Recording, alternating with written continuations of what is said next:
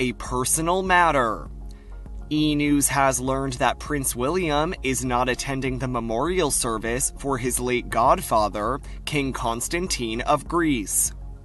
Kensington Palace announces in a February 27th statement obtained by NBC News that the Prince of Wales was no longer able to go to the service at Windsor Castle's St. George's Chapel due to a personal matter.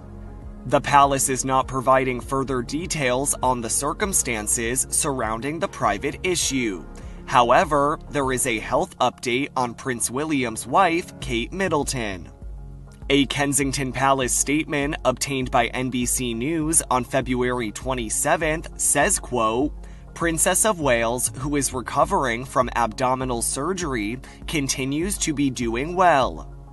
Several other members of the British royal family were in attendance to honor King Constantine, who died in January of 2023 at the age of 82.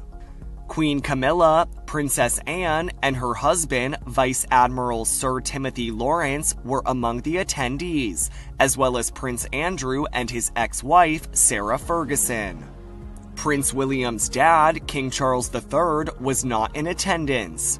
Members of the British royal family have been going to events on his behalf as he takes a step back from public facing duties amid his treatment for cancer, with his diagnosis being announced earlier this month.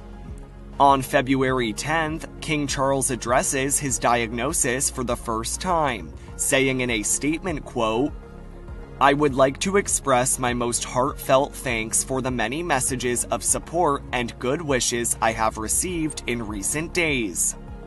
As all those who have been affected by cancer will know, such kind thoughts are the greatest comfort and encouragement.